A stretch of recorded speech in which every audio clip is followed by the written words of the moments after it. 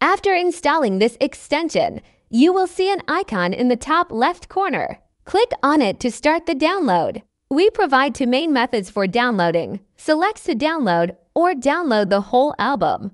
If you want to download specific images, click the Start Select button to enter selection mode. Then choose the images you want to download and click Start Download.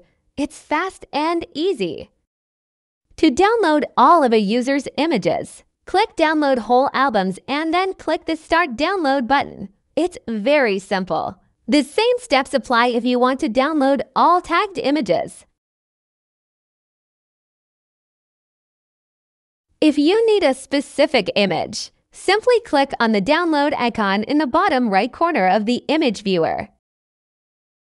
You can also select specific images from an album for downloading and click Download Selected Images.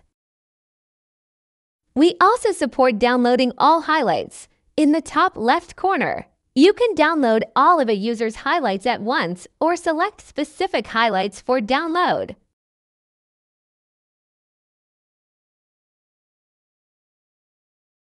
In version 3.0.0, we have rewritten the logic code and now provide more flexible configs. Click on Show Advanced Settings to see all features.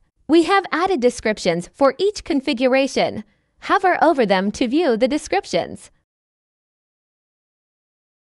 Let me show you the new file naming feature in this version. It's designed based on mixed input. You can fully customize the naming format rule or use a preset rule. You can also manually enter content you want and once leave away from the input. You will see an example of a file named according to the naming rule.